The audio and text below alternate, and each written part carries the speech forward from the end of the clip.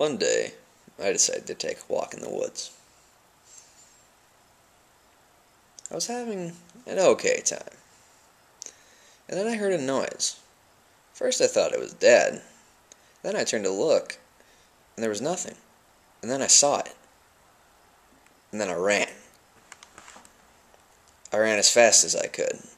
I occasionally looked back, and I saw it. And then I ran faster, and it kept chasing me.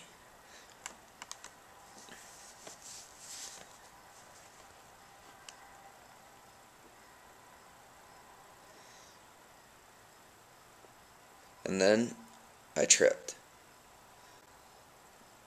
I saw my life flash before my eyes. And then it went dark. And then I was back. And instead of facing my pursuer, I saw nothing.